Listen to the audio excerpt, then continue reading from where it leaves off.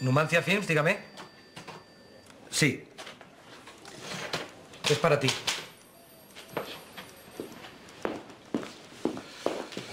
Dígame. Jesús, Jesús, soy Alicia. Alicia, ¿estás bien?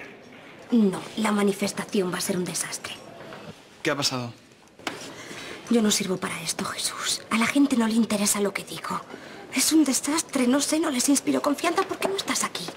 Bueno, tranquila, espérame allí y llego en 20 minutos, ¿de acuerdo? De acuerdo, gracias. En 20 minutos. Eh, Roberto, ¿le puedo decir a Fernando que termino esto mañana? Es que me ha surgido un imprevisto. De eso nada. Si te vas de aquí sin haber terminado tu trabajo, lo siento mucho, Jesús, pero no te molestes en volver. Es que me tengo que ir a la facultad urgentemente, de verdad, se lo compensaré. Haré horas extraordinarias. Roberto, ¿tienes por ahí la lista de gente que ha solicitado el puesto de ayudante? Sí, las tengo aquí. Tampoco hay por qué ponerse así, ¿no? No, si no pasa nada, Jesús. Yo entiendo que para ti tus estudios son muy importantes, pero es que para mí lo más importante es mi trabajo.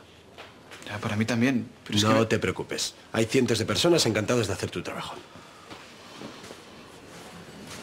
Muy bien. Me quedo. ¿Qué hay que hacer? Perfecto. Tienes que ir al Observatorio del Retiro. El director quiere rodar una escena allí. ¿Y para qué tengo que ir yo, si se puede saber?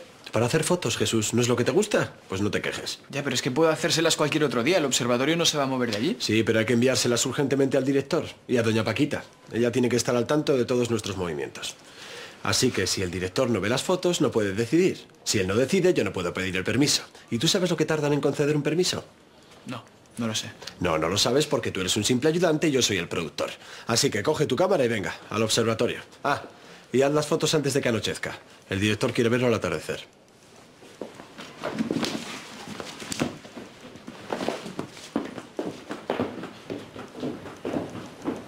¿Al observatorio de Atocha? Sí, tengo que intentar mantenerlo alejado de Alicia.